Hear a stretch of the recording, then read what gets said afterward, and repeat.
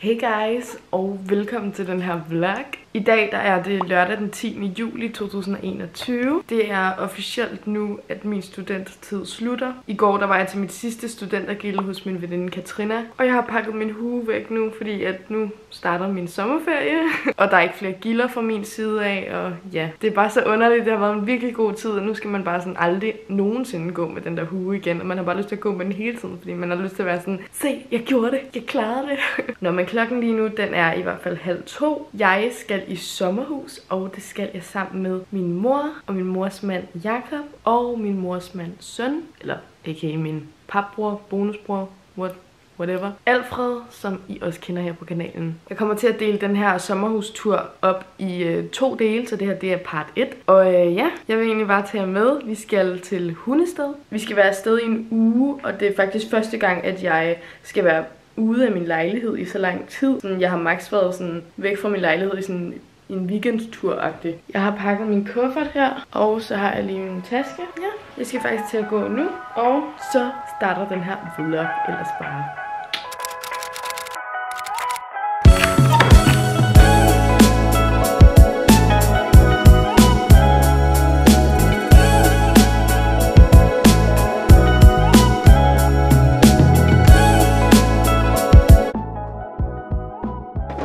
Er vi ankommet til vores sommerhus i Hundested. Eller det er ikke vores, det er sådan et, vi leger. Prøv at høre, hvor meget det regner. Men jeg håber, at det bliver bedre vejr de andre dage. Så nu er vi kommet ind, og min mor er heromme.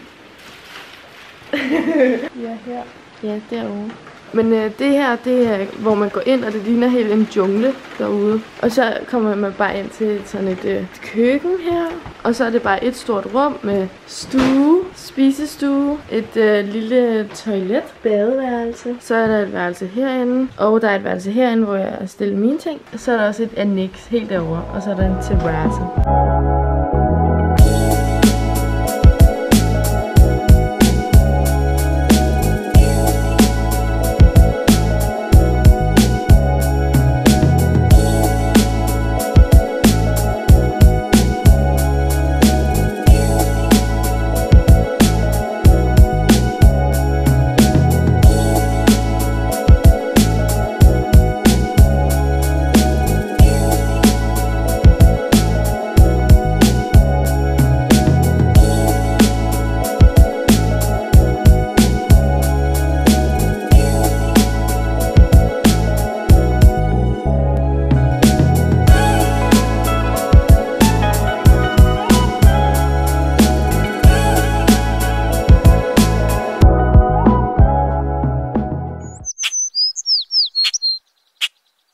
Hey guys, så øh, nu er det første rigtige dag. Det er også i dag, at øh, Alfred kommer, så det glæder mig helt vildt meget til. Han var lige til et studentergilde, det er derfor han først kommer i dag. Men den her video, den er jo også i samarbejde med Next Story, som jeg har snakket om før. Hvis I ikke ved, hvad Next Story er, så er det en platform, hvor at du betaler et månedligt beløb. okay. Og så får du adgang til tusindvis af lydbøger og e-bøger. Ej, nu stopper du. Øhm, ej, svært at filme YouTube-videoer i et sommerhus. I hvert fald, jeg har teamet op sammen med dem, fordi at jeg har en rabatkode til jer. Og min rabatkode, det er Louise Madsen, og den rabatkode giver jeg altså 45 dages gratis. Det er sådan en lille prøveperiode, hvis I godt lige vil prøve det af og se, om det er noget, som I gider at investere jeres penge i. Jeg har i hvert fald været super glad for det. Jeg ved ikke, om jeg så, at på vej herud, der hørte jeg også en lydbog. Det tog sådan en time, lidt over en time at køre herop, og jeg sad bare og hørte øh, Irinas bog, som jeg faktisk også har fysisk med. Og ja, det er jo også en anbefaling, men jeg føler, at alle, der snakker om Next Story, de snakker om Irina, Gekko og Hella Juve, så jeg har altså også en masse andre anbefalinger til jer, fordi at jeg har faktisk læst rigtig mange lydbøger, eller lyttet til rigtig mange. vi alle sammen, vi kan jo nok også huske dengang, man var lille, og man ligesom fik uh, læst historier op, og det var bare det bedste. Så forestil jer det bare, ja, det smarte ved lydbøger, det er også, at du ligesom kan lytte til det, imens du er i gang med at lave noget andet. Og jeg synes, det var essentielt at koble det her samarbejde sammen med min sommerhustur, fordi at jeg ved, at jeg kommer til at læse enormt meget lydbog. I går, der lå jeg også og faldt i søvn til lydbog. Appen har sådan en søvnfunktion, hvor du kan sætte en timer på, sådan så den ikke bare kører hele natten. Du kan fx prøve at sove, du kan sole dig, hvis du skal rejse, køre i bil. Vi skulle for eksempel køre hele vejen herop. Der hørte jeg lydbog. Jeg hører også lydbøger derhjemme, når jeg sådan gør rent, eller når jeg sådan skal rydde op. Jeg ved ikke, det er bare sådan, det får mig lige lidt mere i gang, at jeg sådan føler mig aktiveret på en eller anden måde, sådan ved at jeg hører en lydbog. Jeg synes, det er så genialt. Lige nu, der er jeg så i gang med at høre Irinas bog, men den var tre timer, så jeg, jeg er allerede sådan halvvejs, fordi at jeg hørte på vej herop, og så hørte jeg også, da jeg skulle falde i søvn i går. Men vi kan lige gå ind på appen. Jeg har i hvert fald gemt nogle bøger, som jeg også har læst. Okay, så jeg har allerede snakket om en masse bøger i en anden video, der også var i samarbejde med Next Story. Men en bog, som jeg lyttede til, det er Giv dit brand en personlig stemme succesfulde kampagner med strategisk brug af influencer marketing. Og den her bog, den brugte jeg så meget, da jeg skulle skrive min SOP. Det er min største opgave, jeg skulle skrive i 3.G, fordi der skrev jeg om personlig branding og influencerbranchen. Og den her bog, den er bare genial. Altså, den er skrevet i et sprog, hvor man sådan godt forstår det. Og alle jer, der måske er interesseret i influencerbranchen, eller måske godt kunne tænke jer at prøve det af. Den her bog, den er genial, og der står alt fagligt og sådan, hvordan det hele hænger sammen. Så hvis du godt kunne tænke dig at blive et eller andet inden for marketing på SoMe, så er den også genial at lytte til. Jeg havde været lidt bagud med mine materialer til min SOP, så det var bare mega genialt, at jeg bare kunne gå og lytte til den her. Fordi så gik det bare mega hurtigt med at læse den. Jeg ville bruge den som en kilde til min opgave. Og så hørte jeg den bare, da jeg var i bad, og jeg lavede morgenmad og alt muligt. Jeg fik lige pludselig mega mange timer på døgnet, fordi at jeg kunne nå at lave alle de der ting, at jeg ikke behøvede at sidde ned og læse. Jeg har også en bog, jeg læste, og det er måske til jer, der ønsker at blive lidt selvstændige og starte jeres eget. Den her bog, den brugte jeg nemlig også til min SOP, og den her bog, den hedder Original, Personlig Branding og Synlighed. Derudover, så fandt jeg ud af, at jeg ved ikke, om I, det har I højst sandsynligt nok, set filmen 365 dage på Netflix, og jeg flippede ud, da jeg fandt ud af, at bogen er inden for Next Story. Og filmen er jo placeret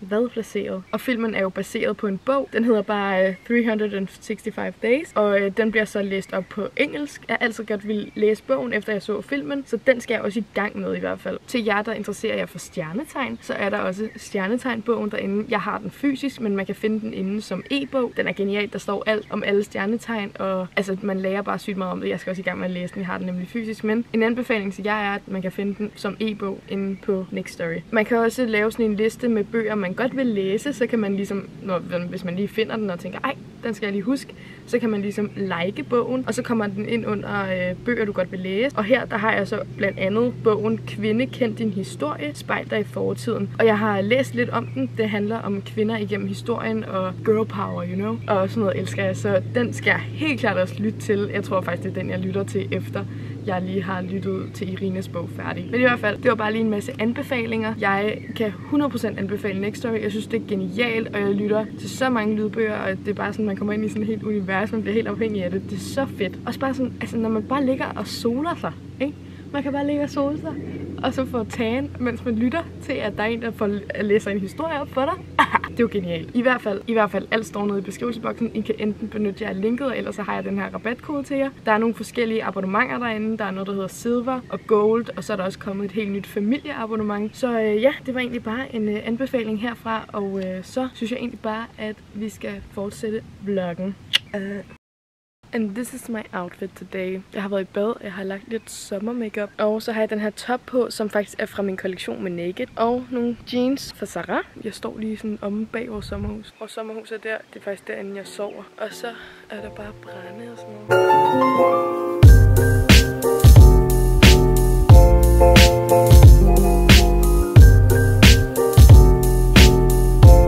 Jeg ved faktisk ikke, hvad klokken er, men det er faktisk ret dejligt varmt. Det er ikke sådan for varmt. Okay, jeg har lige tjekket klokken. Den er 1, og vi går en tur. Vi har sommerhus lige deroppe af stien, og så over en mark. Det er sådan vindstille. Der kom en mand og anbefalede en eller anden strand til os, så det er den, vi sådan er på vej hen til. Totalt dansk sommerstemning. Nu er vi øh, gået ned på stranden, og der er faktisk ret lækkert. Og øh, jeg er lige hoppet i min bikini, fordi at, øh, ja, jeg skal faktisk også ned i, men jeg synes bare, at det er ret koldt. Uh. Nu er klokken blevet 15, og vi skal have noget frokost. Vi sætter os ind på den her café, der ligger her ved Hundested Havn, der hedder Alfor Vareas Købmand. Nå, men der står bare det der. Nå ja, Café Proviant. Og så håber vi, at vi kan få noget lækker frokost der, for vi er ret sultne.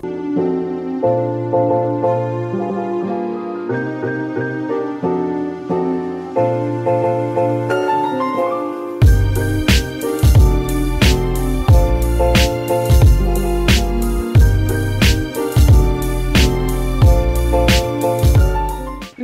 klokken blevet 18, og vi skal ned og hente Alfred på Hundested station.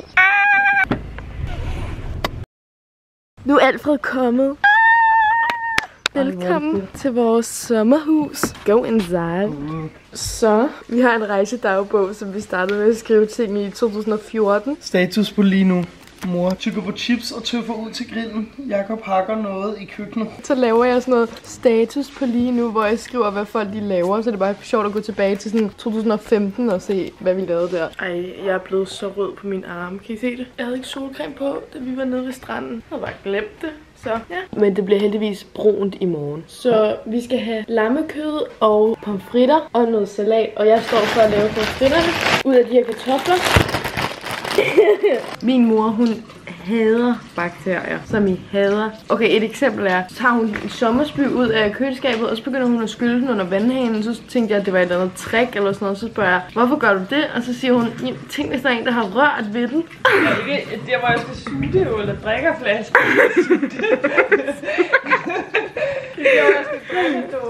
I går sagde du, Nå, så kan jeg lave mission tørre håndtag af. Gik du ikke og tørre håndtag af? Jo, med sprit. Men jeg mangler de her køkkenlager. Hvor herinde under. Hvor? Herinde under? Ja. Nå.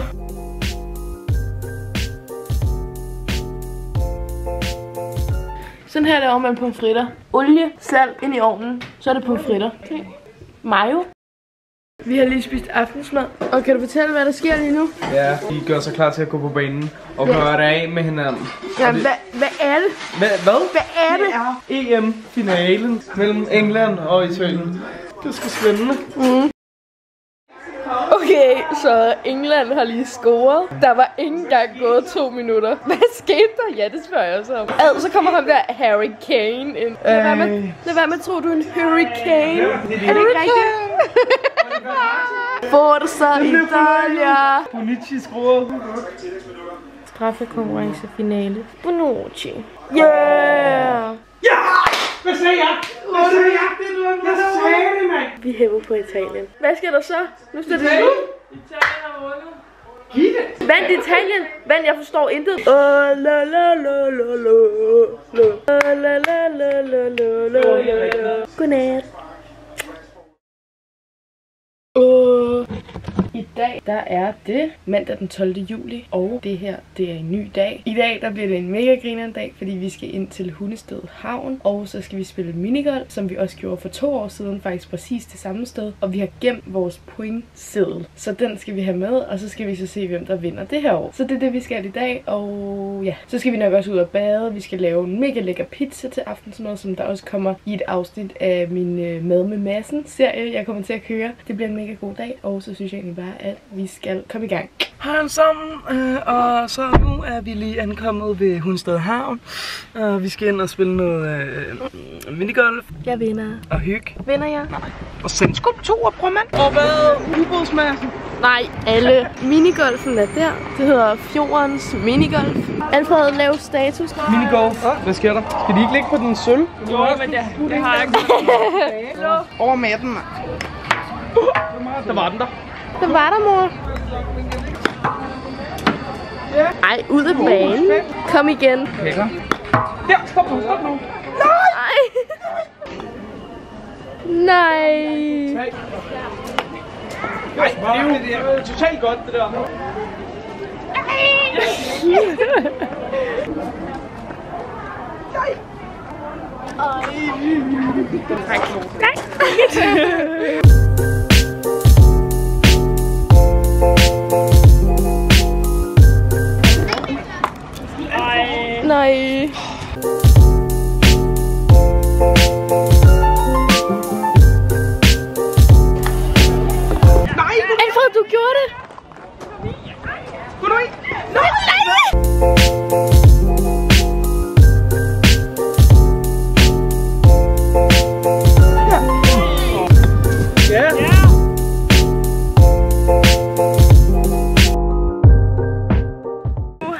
blevet færdige med at spille 18 minigolfbaner. Og Alfred, hvem tror du vinder? Jeg tror faktisk ikke, det bliver mig i hvert fald. Så nu skal vi ud og handle, og så skal vi hjem, og så skal vi nok ud og bade. Og det bliver lækkert.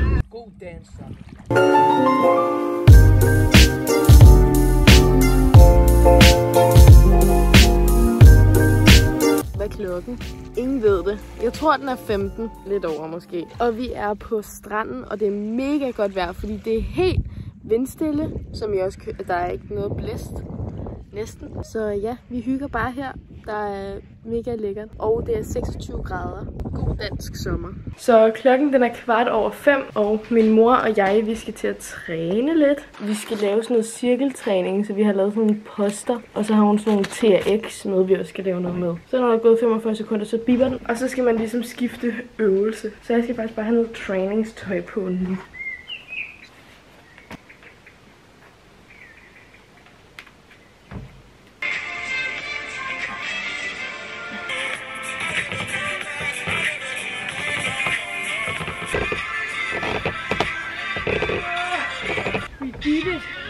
20 minutter cirka workout done. Nu har vi lige lavet vores, eller vi har anrettet vores aftensmad, som er pizzaer. Og det kommer altså i et afsnit med mad med Louise. Og nu vil jeg lige vise dem, for ah, de er mega flotte. Så det her, det er pizza med tomat på, og I kan se, at bunden er lidt uh. Det er det, der er the special. Og så har vi også en kartoffelpizza og en svampepizza. Mums. Så nu skal de bare ind i ovnen, og så er der aftensmad om et kvarter. Så, olives. Jeg svæver. Jeg elsker oliven. Jeg kan bedst lide grønne oliven. De her oliven, ikke? Økologiske grønne oliven fra Lykkes Mose, det er de bedste, der findes. Og så skriv noget i kommentaren, om I bedst kan lide de grønne, eller de, hvad farve er det? Mørke olivener. Ej, se hvor lækker den er. Synes du ikke, den ser lækker ud? Jo. Okay. Hej, ny dag i Hundested. Vi er på vej til havnen igen. Ikke for at spille minigolf. Hvad skal vi se? Vi skal på i genbrugsbutikken og købe underbukser. Ej, vi skal til sandskulptur. Her i Hundested, der er der sådan nogle sandskulpturer, og vi var her også for to år siden, men der er kommet nye sandskulpturer. Det er mega flot. Det er sådan nogle kunstnere, der har lavet alt muligt, så det vil jeg lige vise til jer.